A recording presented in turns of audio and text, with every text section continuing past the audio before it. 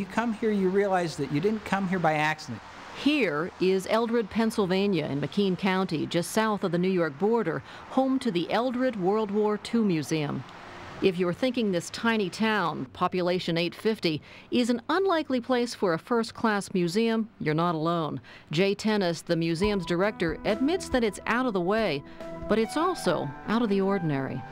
When you come in, you'll notice there is a touch of quality. Our director of displays, Guy Pernetti, has done work for the Smithsonian Institution, also for the Rock and Roll Hall of Fame. Our architect, Pete McDonald, has also given us a great scheme. And a unique research library. Something that you usually don't see in a museum, but a, a place where students and visitors can come and research over 8,000 books. There's a, just something for everybody. Opened Memorial Day 1996, the museum is dedicated to preserving the history of World War II. It also commemorates the 1,500 workers who came from Eldred, Olean, and Bradford to work round the clock making munitions at Eldred's World War II defense plant.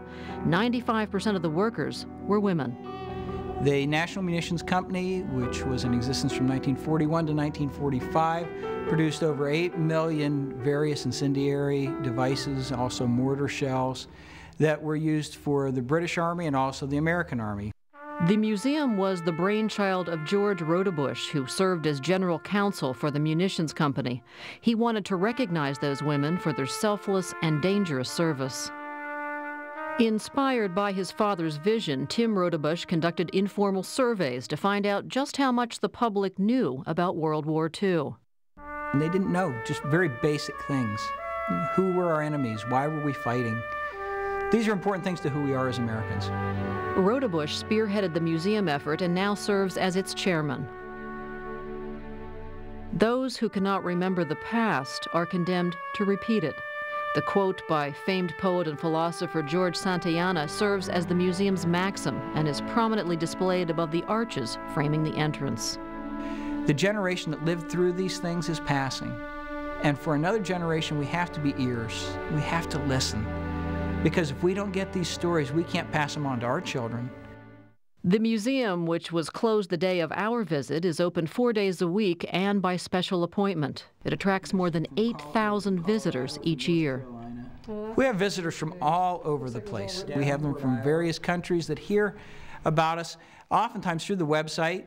We have the senior citizen bus tours that come in where everybody has lived through World War II. We see a, school groups that come in, and they're learning things in their classroom, and this is supplementing their education. We have college students that are able to do more advanced research. But it's a nice cross-section of people.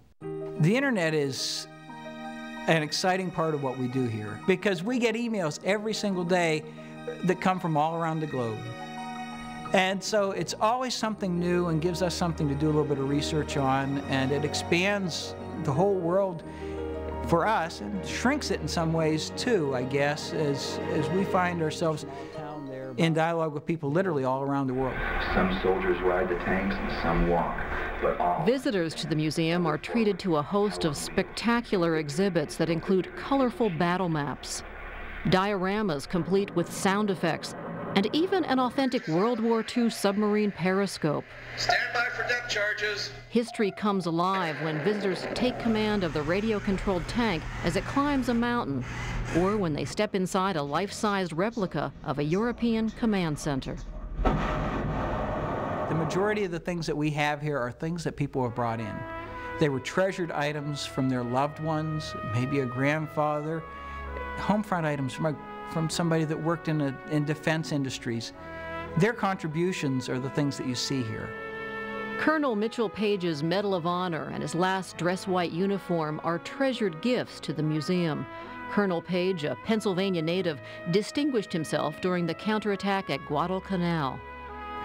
He was there with 33 men in his machine gun platoon.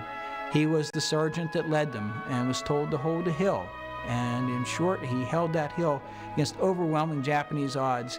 At the end of the battle, everyone in his platoon was either killed or wounded, and they'd held off 2,500 to 3,000 Japanese. And he was awarded the Medal of Honor for his leadership role About 20% of the museum's collection can be displayed at any one time, so exhibits rotate constantly.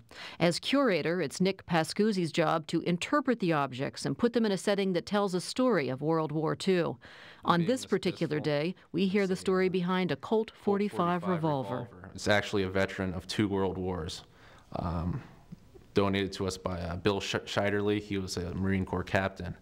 Um, his father carried it throughout France during World War I, and his father gave it to him to carry during World War II. And some of the more um, fascinating items, the K rations, the little boxes of food, the crackers, and the things that came in cans that the soldiers actually had to sit down and eat. The personal items, the playing cards, the dice, the little shaving kits and sewing kits, and you know, pictures of loved ones, prayers, and Bibles. Uh, I think the smaller items that were carried by the soldiers are the most fascinating.